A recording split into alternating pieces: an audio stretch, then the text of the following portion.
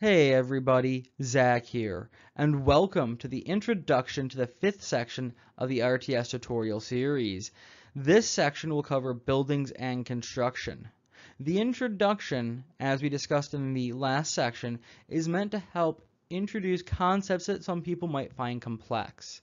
We won't be doing any work in this section except for considering some ideas.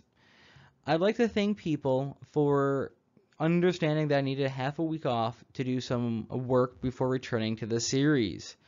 I'd also like to thank people for making it this far into the series, and I hope that you enjoy the rest of it. I really do appreciate the feedback that I've been getting, and anything else, you know, you guys want to tell me, anything you want to see, feel free to put a comment down below, message me on Reddit or Twitter, or even join the Discord channel, a link for which is in the description below.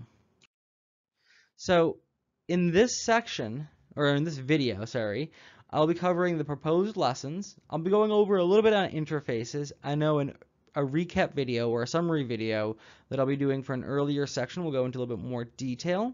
Um, so there might be some repetition across those two. We'll talk about the meshes and we'll go over one major thing we need to consider. So the proposed lessons for this section, or well, this video, an introduction, setting up our UI and our parents, which will be our preview and our building master, an example of which you can kind of see in the background right now. We'll be spawning in our preview, which is the mesh on the right in the picture. We'll be controlling our preview, which is making it move around, rotate it, checking for overlap. We'll place it so it can be queued for construction, and then setting it from construction to built. We'll be combining game time and construction. We'll be doing a little bit of cleanup because there'll be pieces that when we start combining things might cause problems. And then for the final bit, we'll be upgrading to 4.22. I'm just going to make a quick comment on that. The reason I'm waiting so long to update the to 4.22 is that this section is the final section that is the sort of base of the of the game. We have our game time, we have our units, we have our resources, and we have our buildings.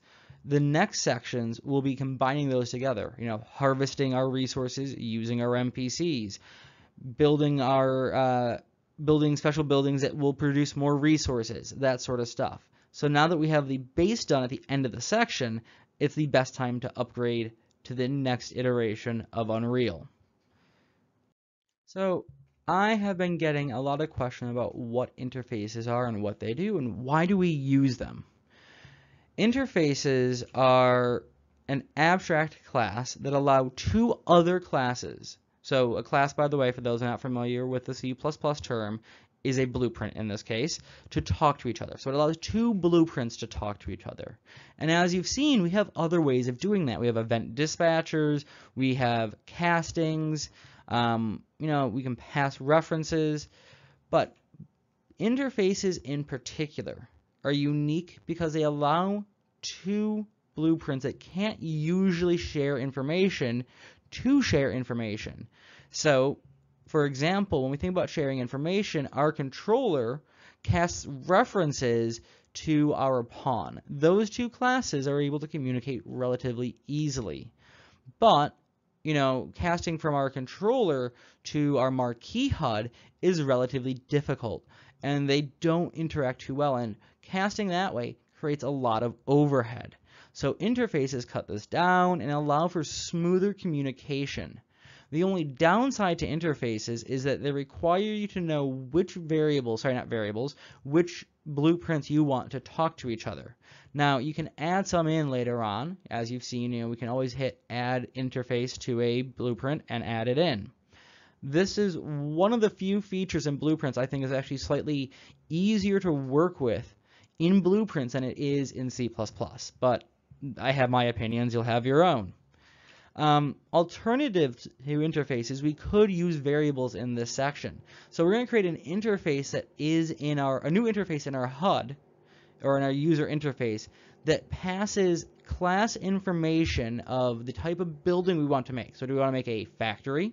the building to the left in this picture, a silo, a building to the right in the picture, um, one of the barracks or a training depot, um, to our preview master.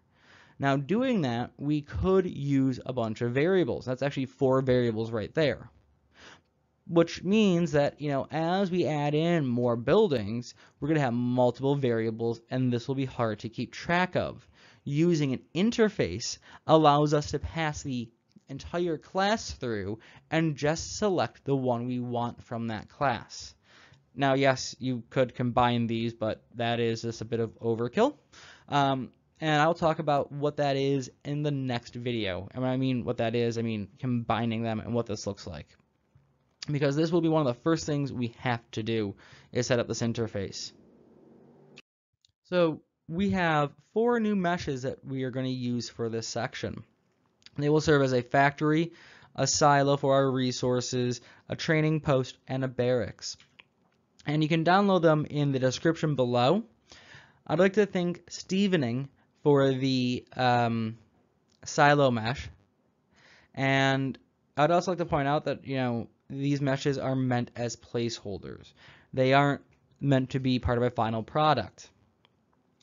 If you are importing your own meshes or are making your own meshes, you need to be aware of where the pivot point for the mesh is. The pivot point should be on the bottom because meshes can be of different sizes, different shapes, and a whole bunch of other things. Yes, while you can compensate for where the pivot point is if it isn't on the bottom, unless the pivot point, unless all the other factors of the mesh are the same and the pivot point's in the same spot on all those meshes, it's hard to make that compensation.